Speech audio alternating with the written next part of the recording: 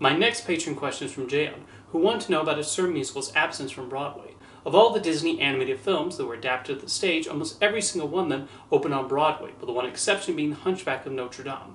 I don't understand why. From my standpoint, has the best soundtrack of all the Disney animated films, the point that I actually love the opening song, The Bells of Notre Dame, even more than The Circle of Life from The Lion King. On top of that, both the movie and musical have a huge size and scale to it, which will make it ideal for Broadway stage. And yet, despite having a decent premiere in Germany and doing very well at La Jolla Playhouse, it has never made it to Broadway. Why do you think this is? It is unusual that The Hunchback of Notre Dame has never made the transfer to the Broadway stage, and it's not like there have not been discussions about it. Both Alan Menken and Stephen Schwartz said years ago they were working on taking the show to Broadway, and then nothing. It did play at a few American theaters, first at La Jolla Playhouse in California, and then the Paper Mill Playhouse in New Jersey. The latter, by the way, is where the stage version of Newsies premiered before its successful run on Broadway.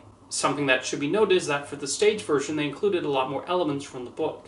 And if you thought the movie was one of Disney's darkest animated films, the stage show is even more so. Esmeralda dies at the end, and Frollo is made the Archdeacon of Notre Dame, like in the book. Even though the talking gargoyles were included in the German production, they were cut when the show was brought to the United States.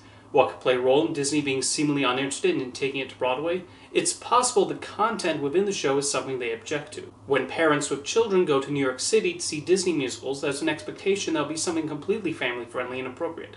The Hunchback of Notre Dame is reportedly a much darker show than Beauty and the Beast and The Lion King. Even the musical director of the show's Kansas production has said that it's more thoughtful and pensive rather than crowd pleasing. Disney theatrical productions seem largely interested in giving people a nice night out, which is why they adapt movies like The Little Mermaid, Newsies, Mary Poppins, and Frozen.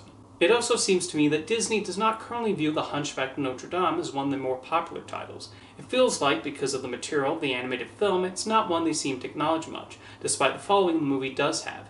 I myself have an immense fondness for the film. Case in point is the development of the live action remake, which was officially announced almost five years ago, and it's been slow going since then. Menken and Schwartz were involved, along with Josh Gad and David Hoberman in producing roles. Gad was also a possibility to play Quasimodo. Some months ago, Menken revealed that there was little progress on the film, mainly due to concerns of how to handle the content of the story, which feels like code for Disney is nervous about how families will react. Menken has said he is not interested in sanding off the edges and removing the darker, more thematic elements. And Stephen Schwartz has recently said he does not expect the remake to happen anytime soon, if at all. Meanwhile, Disney's been having an underwhelming year at the box office, and there's probably so much evaluating going on in Burbank over which movies should be the ones to enter production. Right now, it also appears like the Hercules, Moana, and Lilo and Stitch remakes are further along in the pipeline than Hunchback, as those are safer remakes. But back to the stage version, what is one way Disney could take the show to Broadway?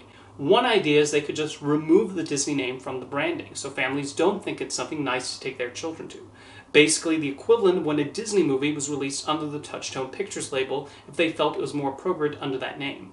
But then Disney might think, but if we don't put our branding on there, how will we attract fans of the movie? Something that would be neat to do is they could film a big professional production and release a pro shot on Disney Plus. The stage musical version of DreamWorks' The Prince of Egypt never made to Broadway either, but the West End production was recorded and released in theaters for a limited time and later digitally.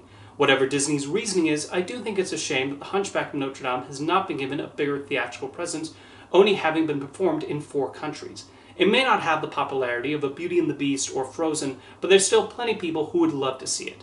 Thank you for your question, Jeon.